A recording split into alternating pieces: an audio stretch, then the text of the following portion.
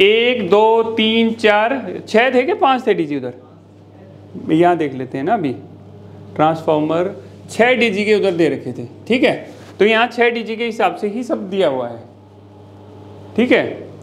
ये भाई किलोवाट और पावर फैक्टर के मीटर हो गए, ये ये हुटर है बजर बोलते हैं इसको। अगर कोई फॉल्ट होगा, चुई चुई चुई चुई, यही करेगा, ठीक है? ये सिंकोनाइजिंग डीजी को ऑटो सिंकोनाइजिंग ये सिंकोनाइजिंग रिले है, या सिंकोनाइजिंग सिस्टम बोलेंगे। ठीक है? ये भी पीएलसी में चलाना है या मैनुअल चलाना है? पहला सेलेक्टर स्विच यहाँ पर है सोलो में चलाना है या पैरेलल में चलाना है? ठीक है? यहाँ पर आ गया भाई डीजी कौन सा डीजी को मास्टर बनाना है, क्या करना है, वो यहाँ से करते हैं। ठीक है? ये के एच वगैरह उसमें जो भी रीडिंग दिखती है, इसके अंदर दिखेगी। ये इमरजेंसी स्विच है ये मास्टर बनाने का स्विच यहाँ पर दे दिया है कौन से डीजी को मास्टर बनाया मास्टर का मतलब है सपोज़ मेरे पास पाँच छः डीजी हैं इधर कि लाइट जाती ही सबसे पहले कौन सा चले उसके बाद कौन सा चले उसके बाद कौन सा चले तो वो फ़ंक्शन होता है यहाँ पे ये डीजी स्टार्ट लिखा हुआ DG one start DG one stop DG two DG three DG six तक है स्टार्ट स्टॉप यहाँ से बटन दबाते ही वहाँ डीजी चल जाएगा आपका डीजी चलते ही यहाँ डिस्प्ले वगैरह आ जाएगा हमें पता लग जाएगा डीजी चल गया है ठीक है ये है मैं कहता था मैनुअल सिंक्रोनाइजिंग डीजी की स्पीड कम ज़्यादा करने के लिए डीजी की स्पीड कम ज़्यादा होगी तो फ्रीक्वेंसी हम उसकी आ, कर सकते हैं अपने हिसाब से। कि भी थोड़ा बहुत ऊपर नीचे फ्रीक्वेंसी हो रही है तो वहाँ से ये मैच करा सकते हैं हम। ठीक है?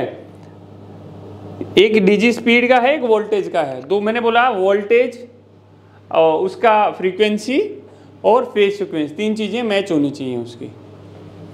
ये हमारे टीएनसी लगे हुए हैं, ट्रिप न्यूट्रल क्लोज लगे हुए हैं। यहीं से फिर मैं क्या करूँगा, उसको ब्रेकर को ऑपरेट कर दूँगा। ठीक है? ये अनाउंसेटर पैनल लगा हुआ अनाउंसेटर क्या मतलब हुआ भाई? अगर डीजी में हाई वाटर टेम्परेचर का यहीं बैठा रहेगा डीजी ऑपरेटर यहीं से सब ऑपरेट कर लेगा। हाई वाटर टेम्परेचर का अलार्म आ गया, कोई भी अलार्म आ गया तो यहाँ पर ये हुटर बजने लग जाएगा और यहाँ पर इंडिकेशन जलने लग जाएगा। ठीक है? तो हमें पता लग जाएगा क्या फॉल्ट है। इसको बोलते हैं अनाउंसेटर पैनल। ठीक है? ये हमारा एसएलडी बनी हुई है। एसएलडी में एक सेकंड में हमें समझ में आ गया, यहाँ पर छह डीजी लगे हुए हैं, ठीक है?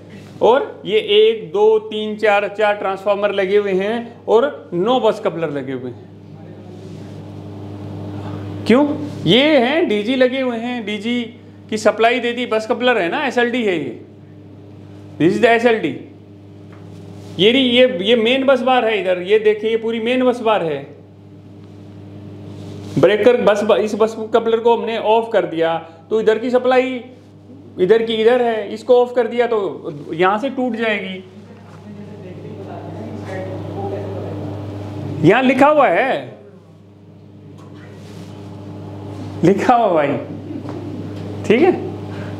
यहाँ नीचे भी लिखा हुआ है ट्रांसफार्मर वन दो हज़ार के वी, दो हज़ार के वी, ये लिखा हुआ है।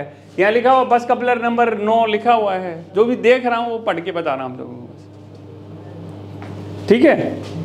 तो इसमें कुछ कुछ किसी को पूछना है? वैसे ऐसा सिस्टम जल्दी से मिलता नहीं है मैनुअल सिस्टम होता है। और होगा तो आपको जाते ही कोई हैंडओवर करेगा नहीं। नया बंदा आता है वो पंद्रह दिन दस दिन उसकी टेस्टिंग होती है उसके बाद में उसको देते हैं चीज़ें करने को। ठीक है? ये अनाउंसेटर बताया ना, कोई भी फॉल्ट आएगा तो ये जलने लग जाएगा, ये है ना, जलने लग जाता है। इसमें चार बटन दे रखे हैं, टेस्ट दे रखा है, म्यूट, भाई बजने लग गया तो म्यूट कर दूँगा पहले तो हुटर को बंद करूँ, शांति थोड़ी सी होएगा चू चू कर रहे हैं। फिर फॉल्ट को मुझे पता लगा, एक्सेप्ट कर लेंगे, फिर रीसेट कर देंगे। ये हाँ ये डार्क लैंप भाई, जब हम मैनुअल सिंक्रोनाइजिंग करते हैं ना, उस दौरान के लिए हैं ये। ठीक है? इसको बोलते हैं डार्क लैंप प्रोसीजर भाई जैसे दोनों की लाइट यहाँ पर आती है जब भाई हम यहाँ से घुमाते हैं ना तो वो सप्लाई इधर इधर वो आती है। जब दोनों बल्ब हमारे आ, बंद हो जाएँगे बल्ब हमारे बंद हो गए उस कंडीशन में हम लगाते हैं डार्क लैंप इसीलिए भाई बल्ब बंद हो गया मतलब सब सही है।